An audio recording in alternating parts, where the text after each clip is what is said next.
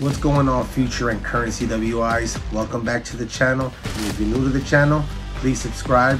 My main goal here is to make you a CWI on the first try and give you the latest and greatest on this CWI exam. You're gonna need it.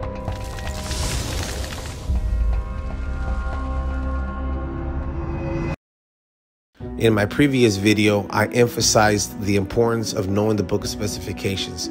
If you haven't seen that video, I'll link it in the description below.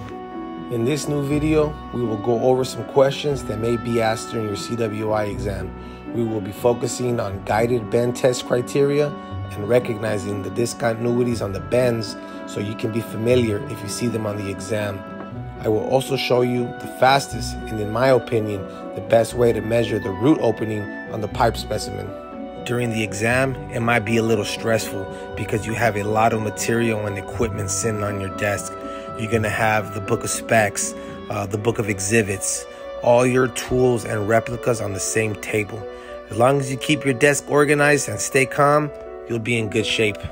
Okay, so for the first question, we'll talk about the proper preparation bent specimens should have. So if you take a look at the book of specifications on section 5.4.2 bend criteria, on the second paragraph, it states specimens not meeting preparation or bending requirements that do not contain a rejectable discontinuity shall be disregarded and a replacement specimen prepared from the original weldment shall be tested.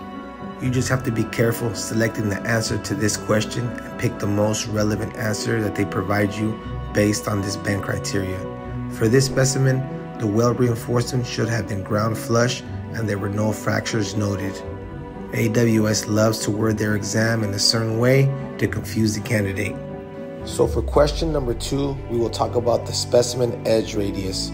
Per section 5.4.2, the radius shall not exceed an eighth of an inch.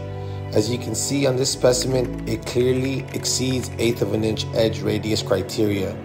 You can also find more information on page 41 that displays a drawing on how the edge radius should be prepared. The eighth inch is the max. I know if I seen this question on the exam, I would mark this as rejected.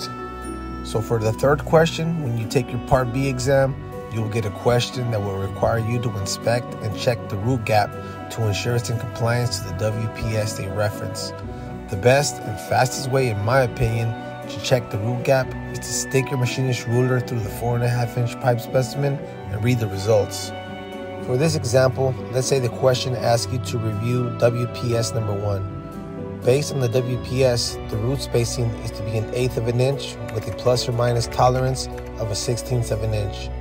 So the max root opening is 3 16ths of an inch or 0.187.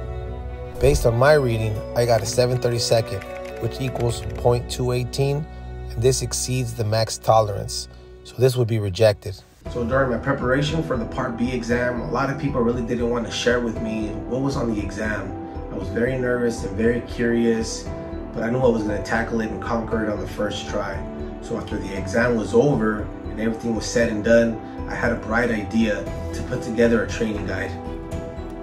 The Arc it basically covers the book of specification in great detail, all sections.